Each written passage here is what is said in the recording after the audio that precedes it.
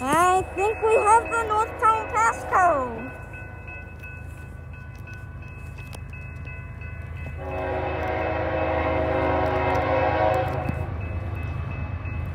Yep.